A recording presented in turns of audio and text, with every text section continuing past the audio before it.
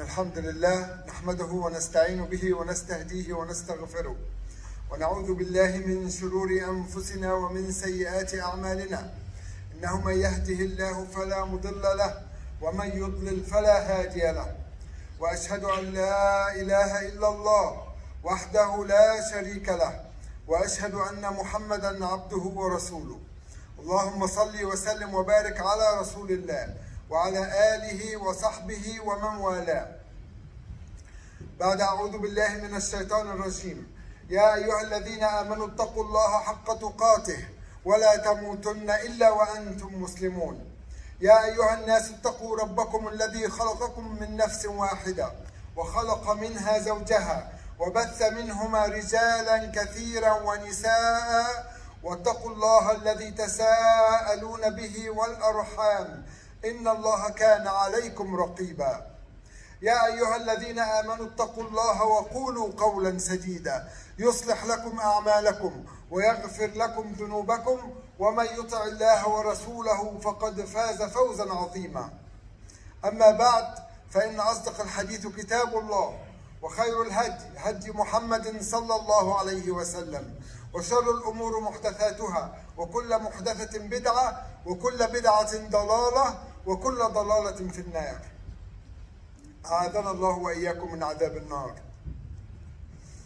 My dear respected brothers and sisters, can you imagine with me after a few years, if we're still there, we hear on the news America has got a financial crisis.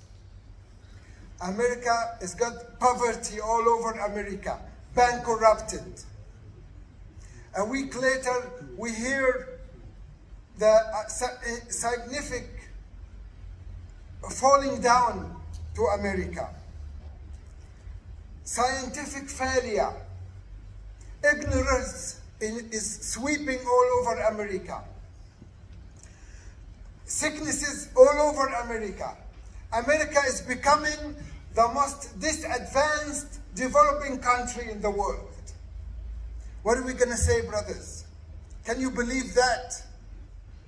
The, most, the richest country in the world, the most Nobel Prizes used to go to the scientists from America. How come this happened? That is exactly our situation today, brothers. That is the Muslim nation today, brothers, where we were before. In fact, America did not amaze the world like the Islamic civilization. They took everything from the Islamic civilization. European civilization took scientists from us, brothers. What happened to us today? Why this is happening to us today, brothers? Why we are going down to that stage? I tell you why, brothers. Today, this happened. We ask someone who is a Muslim man during Ramadan months, we ask him, uh, if a man comes to you today and tell you, I'm very thirsty, what can I do? What you gonna tell him? He replied, I will tell him to break his fast. Is this what we're supposed to do? Isn't it we're supposed to be patient? You should advise him to be patient. He goes, yeah, but the man is thirsty. The man is thirsty during Ramadan months. So we advise him to break his fast. That is the stage we got to. The da'wah, calling to the way of Allah, brothers, we let go. And this is our problem today, our Muslim nation problem today. While in the time of the Islamic civilization, the golden times, the young man will throw himself on top of a castle to get to the gate, sacrificing himself to open the gates for the Muslim army to go in. So no gate will stop the da'wah for Allah subhanahu wa ta'ala. Calling to the way of Allah, brothers, is the easiest solution to all our problems. If it is individual problems to each one of us, or if it's the Muslim nation in general, brothers. We know, brothers, I know someone who talked to an Irishman over 80 years of age, a few minutes, two times. And the Irishman, talking to him about Allah, he became a Muslim, over 80 years of age, declared the Shahada. I know another Sheikh who saw four men smoking drugs in a car. He walks to them, he talks to them about Allah a few minutes. Two of them cries. They grow their beard and they become committed to Islam. Today they do da'wah for Allah subhanahu wa ta'ala. Is the problem with this Irishman who did not know anything about Islam? Is the problem with those people sitting down in the car smoking drugs? No, brothers. The problem is with us. The Muslims who are committed to Islam and sitting down in the masajid, sleeping in the masajid. All what we do is worship Allah. We don't care about da'wah, calling to the way of Allah. Our solution, brothers. Today there is a message for you, brothers, for every one of us. A message from every Muslim who got killed in the attacks against Palestine, against anywhere in the world. Today, a message to every one of us, brothers. From any Muslim lost his eye, his arm, his leg in the war against Muslims all over the world.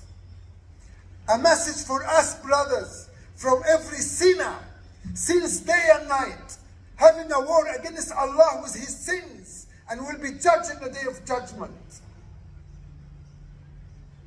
A message to us, brothers, for every non-Muslim who doesn't know anything about Islam except what he learned from the media. When he sees a Muslim smoking drugs and he thinks all Muslims smoke, either smoking, drinking, bad habit, bad manners, doing bad manners. The, the, he knows that Muslims don't love Allah and His Prophet. What happens if you've loved someone? We used to do da'wah to a restaurant. We went to a restaurant and we liked, we tell everybody about the restaurant. You watch a movie, you like the movie, you go and tell everybody about the movie, calling da'wah for the movie, brothers. We love anything. You love a singer, you're going to go and talk about him. A soccer game, soccer player. We love a soccer player, we go and talk about him everywhere. What about if we love Allah and His Prophet wasallam? Do we talk about them, brothers? Do we talk about them with the people who don't know anything about Islam? The non-Muslims, who is your neighbor, your friend, a cadet, is with you in a school or in a college. Anyone that you know, brothers, who is a non-Muslims, don't know much about Islam, you will be asked about him on the day of judgment. It's an obligation on every one of us to talk about Allah and His Prophet sallallahu alaihi wasallam. If you are walking, brothers, and if you find a job, and that job pays you a thousand dollars a day, wouldn't you go and tell your friends? What they say if, if you don't tell them. If you hear, if you're walking in the beach and you find someone drowning, wouldn't you go and save him? If we are walking and find someone on fire, wouldn't you try to put off, put off the, the fire? You get him out of the fire, brothers and sisters. What if you don't? What are they going to say about you?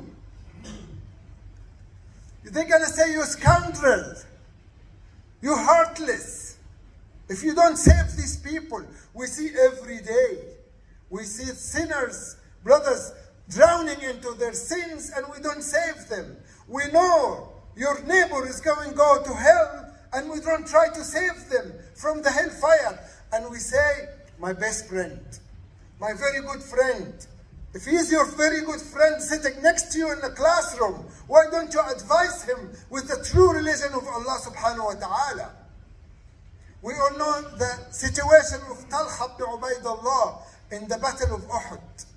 When all the non-Muslims attacked the Prophet wasallam. If he didn't save the Prophet wasallam, he would have been killed. That's what they do today, brothers. They're attacking, they're not attacking the Prophet wasallam. They're attacking Islam, attacking our principles. Non-Muslims, other religions of falsehood. They're doing their best, brothers. I have statistics for you, brothers. 23,000 organizations calling to one religion false of falsehood. 100,000 schools to teach who? Teaching millions of Muslim students falsehood. 120,000 callers to the falsehood in Africa alone. Even the callers to entertainment, callers to bands and movies and disco and all of this, they're killing themselves to take as much as they can with the shaitan to the hellfire from us, brothers. How many caller to Allah, brothers, among us? How many uh, trying their best to call to the way of Allah subhanahu wa ta'ala?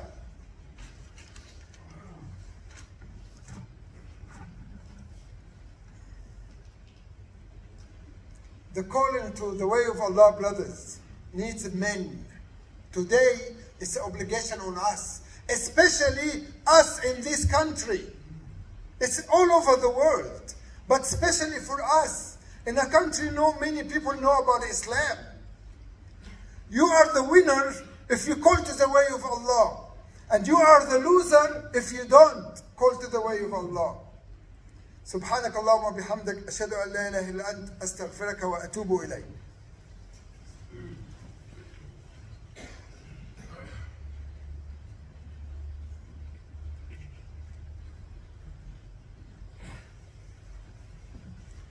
الحمد لله والصلاة والسلام على رسول الله أوصيكم ونفس المخطئة المخطئة بتقوى الله فقد فاز المتقون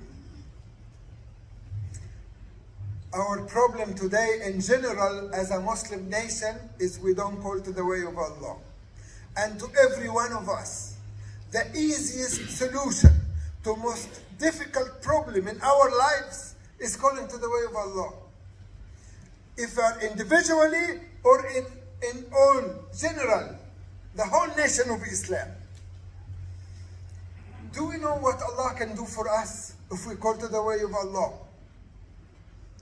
If you work for Allah, do you know what He can do to you, brothers? Allah subhanahu wa ta'ala telling Musa alayhi salatu wasalam in the Quran, لنريك من آياتنا الكبرى اذهب إلى فرعون to show you from our great signs go to the Pharaoh talk to him you want to see what Allah can do to you do da'wah for Allah subhanahu wa ta'ala Allah subhanahu wa ta'ala says in the Quran to his Prophet sallallahu alayhi wa sallam, قل هذه سبيلي أدعو إلى الله على بصيرة أنا ومن اتبعني.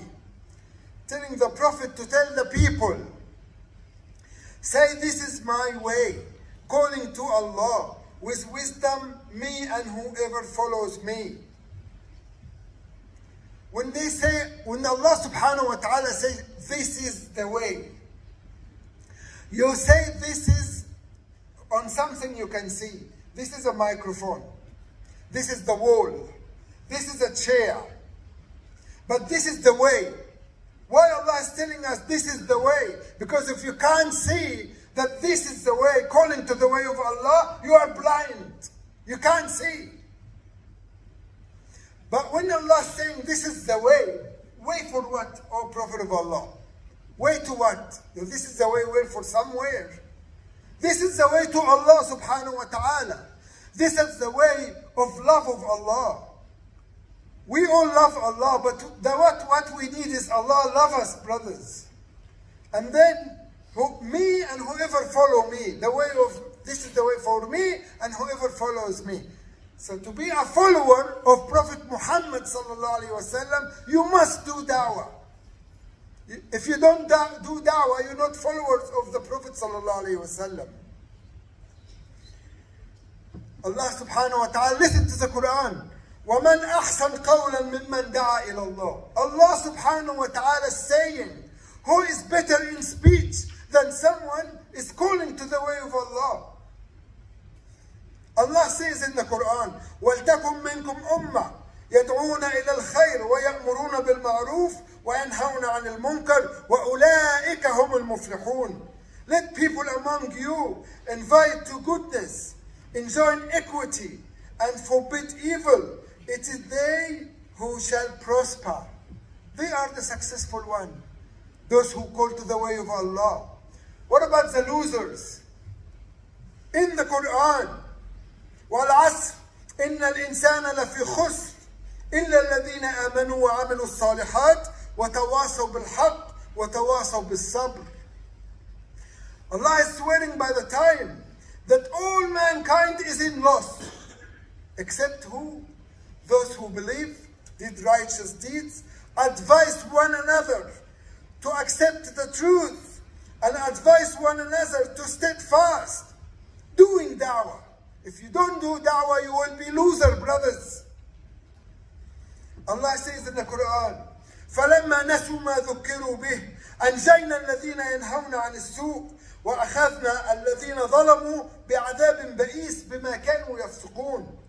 When they forgot what they were reminded with, I saved who forbids evil, and I took the rest with a severe punishment because they are disobedience. We will be, we worship Allah and don't do da'wah will be taken away with those people in the big punishment. Only the one will be saved are the one will do da'wah, brothers. The rest will be called disobedience to Allah subhanahu wa ta'ala. Listen to this hadith. All the hadith is authentic. Aisha radiallahu anha is telling this hadith. The Prophet wasallam entered her home. We know that the home of the Prophet wasallam is in the masjid. And he, he, she said he had on his face a very look that he has something important to say. He went to did wudu, went up on top of the minbar. He doesn't go to the minbar unless it's Friday khutbah or something important to say, and it wasn't Friday. So she came near to hear what he's gonna say. She's telling this hadith. He said, يا أيها الناس إن الله تبارك وتعالى يقول لكم مروا بالمعروف وانهوا عن المنكر قبل أن تدعوني فلا أستجب لكم وتسألوني فلا أعطيكم وتستنصروني فلا أنصركم He's saying Allah subhanahu wa ta'ala is telling you brothers and sisters forbid evil enjoin good before you ask me I don't give you you, you ask give dua you request from me and I will not give it to you you ask for victory from me, and I will not give you victory. We must do dawah, brothers. For before the gates of paradise, the gates of heavens stop against our dua. We ask Allah and we will never, Allah will answer our dua. Another hadith in Sahih al-Bukhari. The Prophet sallallahu listen brothers, this is very important. Listen to this. He's giving us example of those who do da'wah and those who don't. مثل القائم على حدود الله والواقع فيها. The example of those who يعني, call to the way of Allah or apply Allah's orders. And those who are sinners falling in these orders, against the orders of Allah. كمثل قوم استهنوا استهموا على سفينه فأصاب بعضهم أعلاها وبعضهم أسفلها. People, like people enter a ship. Some stayed in the top level and some stayed on the bottom level. فكان الذين في أسفلها those who are in the bottom level إذا استسقوا استقوا من الماء مروا على من فوقهم when they need water they go up to those who are on the top فقالوا لو أن خرقنا في نصيبنا خرقا ولم نؤذي من فوقنا So they said to themselves, if we break a hole in the ship, instead of we go up and annoy, bother the other people, we get the water from down there. فإن تركوهم وما أرادوا هلكوا جميعا if they left them with, with what they want to do they will all vanish sickness will go to everybody poverty will go to everybody problems will go to everybody this is an example وإذا أخذوا على أيديهم نجوا ونجوا جميعا and if they stop them of what they want to do they will be saved and all will be saved summarize my talk you are the winner if you do da'wah calling to the way of Allah and you are the loser if you don't we are the most people in need to this da'wah you know brothers like the one who wash dishes what is the most thing gets cleaned? His hand. When you speak about Allah subhanahu wa ta'ala which ear is the nearest to your tongue? Your ears. Your heart is the most the nearest to your tongue. Your heart. Your heart is number one will be purified before anybody else. We need to da'wah more than anybody else when someone called to the way of Allah when he dies his book stays open. It doesn't close. Because whoever heard what he said and applied it in his life he keeps getting goodness in his book while he's already in the grave. The only one who gets good goodness not only by what he did, but by what he said and what other people doing is the caller to the way of Allah subhanahu wa ta'ala. We all can do da'wah. Someone will say, I, I can't speak, I can't talk, I don't have the knowledge. The minimum we can do, brothers, if we don't talk, is a smile to the face of people, helping the people, showing them the, our manners, our Muslim manners. If you can't talk, it's good, brothers. If you can't, work on it. Go learn da'wah. Everywhere is everywhere today. On the internet, you can learn how to do da'wah. If you can't, it's okay to help people, to pass them to the ones who have the knowledge. Pass them, give a, a, a leaflet, brochure. Don't stay without doing anything, brothers. Everyone has to do something about da'wah, calling to the way of Allah subhanahu wa ta'ala. I'll end my khutbah with Allah subhanahu brothers, we know what's happening around us today. Allah subhanahu wa ta'ala destroyed Qawm because what they've done, we all know what they've done. And we know if the country got to that stage, we all will be vanished, except who? The ones who do da'wah. Allah subhanahu wa ta'ala is telling us here, وَمَا كَانَ رَبُّكَ لِيَهْلِكَ الْقُرَى وَأَهْلُهَا مُصْلِحُونَ Your Lord will not destroy the cities while their people are reformers. Reformers calling to the way of Allah, da'iyah. We must all become da'iyah to Allah. We don't force anyone to be a Muslim, but we reveal the treasure of Islam to the non-Muslims. And we reveal al-haq to those who Muslims are sinning. That's all what we need to do, brothers. I ask Allah subhanahu wa ta'ala to make us from those who listen to the advice and apply it to the best of our ability. I ask Allah subhanahu wa ta'ala, and uh, there is an hour that Allah accepts our dua, inshallah, if we say, اللهم لك الشكر على ما أعطيت ولك الحمد على ما قضيت اللهم صل على محمد وعلى آل محمد كما صليت على إبراهيم وعلى آل إبراهيم. اللهم بارك على محمد وعلى آل محمد كما باركت على إبراهيم وعلى آل إبراهيم. في العالمين إنك حميد مجيد. اللهم اغفر للمؤمنين والمؤمنات الأحياء منهم والأموات. اللهم انصر الإسلام والمسلمين وأهلك أعداءك أعداء الدين. اللهم علمنا ما ينفعنا وانفعنا بما علمتنا. اللهم ربنا زدنا علما.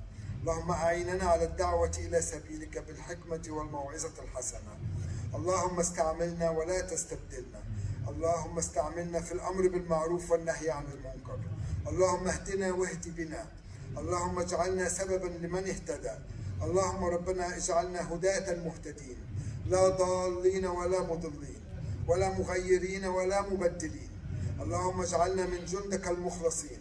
اللهم استخدمنا لنصرة دينك وأطلق بالحق ألسنتنا.